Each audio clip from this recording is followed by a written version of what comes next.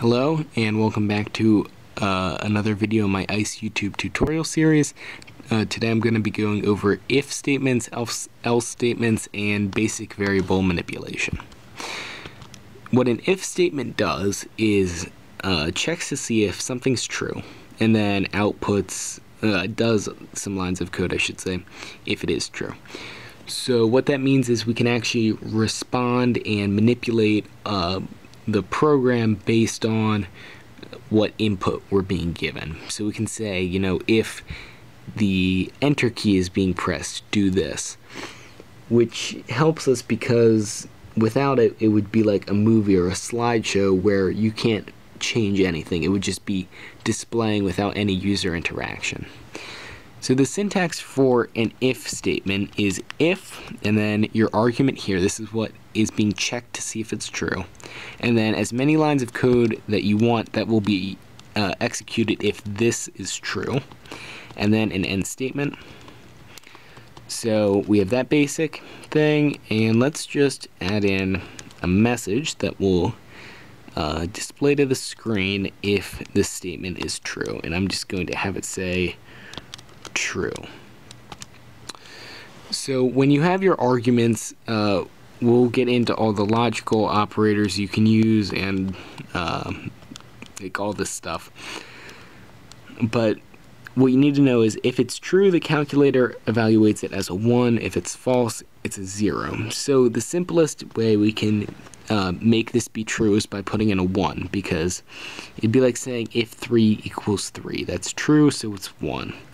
Uh, so 1 is just always going to be true, 0 will always be false. So we wouldn't actually put something like if 1 in our program because we know it's going to execute. So we might as well just put display true instead of the if statement. But we're going to do it uh, right now to check if the if statement works. Okay, let's run test and we get true displayed. But what if it was false? What if we put in if 0? Well, we're not going to get it displayed.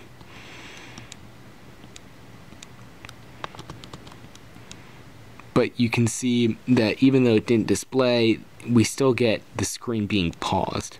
So what ICE does is if uh, this is true, then it also it continues, but if it's false, it also continues. So uh, if it's true, all this code gets run, and if it's false, this code, skip this, and then this code gets run. So you could have um, a hundred false if statements and then at the end like a display hello world. And it'll skip over all those if statements and display the hello world. Uh, so it'll continue running after the if statements. What if we wanted to have multiple outputs of the if statement? So that's where else comes in. What else does is it says uh, the syntax for it is very similar to an if uh, end. So we did if end earlier. Uh, with else, you just have to throw it in the middle of an if and an end. And what it does is it says, if this is true, then do this. But if it's not true, if it's false, do this. And in both cases, this can be as many lines of code as you want. This can be as many lines of code as you want. Uh, so you have a lot of flexibility there. Now we might not always want to set it up like this because this is like black and white. There's two options. It's true or it's false and it'll give us an output either way. So we might not, we might not always want there to be only two options, but in this case uh, we do. So I could use the display false here, but um, so if it's true, it'll be doing this. So this should say that it's false. And I'm actually going to use the output command because I didn't go over it uh, in the text video. Uh, output, you give uh, a y coordinate, then an x coordinate, and then text. And this is for the home screen, which means that you have 26 across and 10 down. So if I wanted it to be 5 down and like 15 across, which should put it like over here, 5 down, 15 across, and then our text, which is going to say false. Okay, so if we run this right now, we should see this means it's false, so it skips the true statement and does the false statement.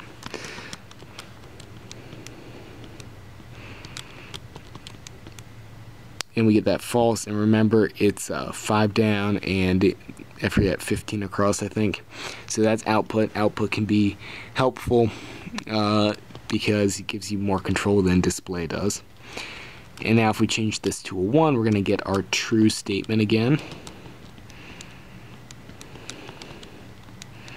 And you can see we get the true. Okay, so this is all helpful, but we don't want to just put a 0 and 1 in the program because that doesn't really, it doesn't help us in any way. So I'm going to create uh, an integer and I'm going to compare that uh, using the if statement. Uh, so we're going to get into variables later, but basically what you need to know is you can store integers into uh, your own variables. You can name them what you want, and like I said, that's going to get covered later, but for right now, let's just store 7 in A. So you can use any of the uh, TI basic variables A through theta. Uh, so we'll just do 7 stored in A.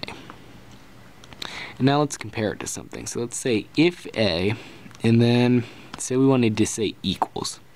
Uh, so if we wanted to say if a equals 8, this is obviously not true because remember it's like um, if 7, we set a to 7, that's what 7 stored in a did. Um, and I didn't really want to go over that because that's going to, I'm going to cover that later, but 7 stored in a, so a equals 7, so if we would then plug in the value of a, like if we think about it, 7 equals 8, well that's not true. So if we ran this, it would make it false. So we can use variables in if statements. I just want to point out, um, if you've programmed in other programming languages, a lot of them use uh, a double equal sign to indicate uh, like testing for if statements because one equal sign is used for assignment, but to assign value, values to variables, we use the store arrow, which is why we only need one equal sign here. Now we can also do not equals, uh, greater than, greater than or equal to, less than, or less than or equal to. I'm not going to go over those because uh, I would hope that you know what they all do. Um, and then let's do some of these. So, uh, and an or. Uh, what you can do is you can chain multiple of these arguments together. So I can say if a equals 8, but what if I also want to test something else? Well, I can say and a, let's do let's do another variable.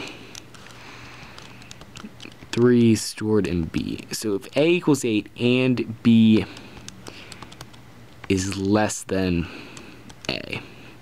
So this will say um, b so a is not equal to 8 so that gives us a false then it'll say and, and then B is less than A. B is less than A, so that's true. So we have false and true.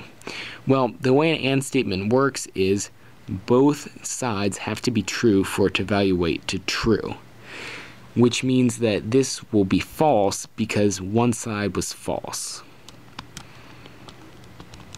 So let's run ice, and it's false. But uh, if we change this to a equals 7, we have true and true. So uh, it'll be true. Okay, now instead of saying and, which is both, we can say one or the other, which is or. Uh, so this will say if this is true or this is true, then display true. So this is false, but this one's true. And because one is true, that's enough which means that we'll get a true out of this statement. True. And we can chain multiple of these together. So I could say or and then another argument, or I could chain it with an and uh, and another argument, and you can do this as much as you want. But you want to keep in mind that uh, if you're going to chain these together, you're going to want to use parentheses. Uh, ICE does do PEMDAS, uh, or order of operations. So parentheses will come first, and if you're going to chain these together, you probably want to add those just so that uh, you make sure that what you want to happen and what order is happening in the order that you want it to. Okay, so XOR is another option that we have. What XOR does is it says if one or the other is true, um, but not both. So that's true because one statement is true. But if both of them were true, so A equals 7, that's true. B is less than A, that's true. Um, this isn't going uh, to work. Well, it is going to work, but it's going to give us false. Uh, so XOR means exclusive OR, and uh, what it does is it says if one is true but not the other, then uh, it'll give us uh, our output. Okay, so if A equals 8 is false, but what if we wanted to uh, take the opposite of that? So I can say if not, and then A equals true. I mean, A equals 8.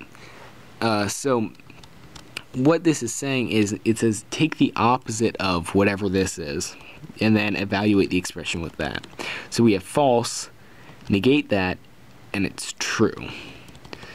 Uh, so this will give us a true output, even though we put in A equals 8. Okay, so that's about all I wanted to go over in this video. Now that we know what if statements are, uh, and we've learned about the arguments for them, the conditionals, we can use the same conditional logic in loops, which I will go over in a separate video. So thank you for watching, and keep your eyes peeled for the next video.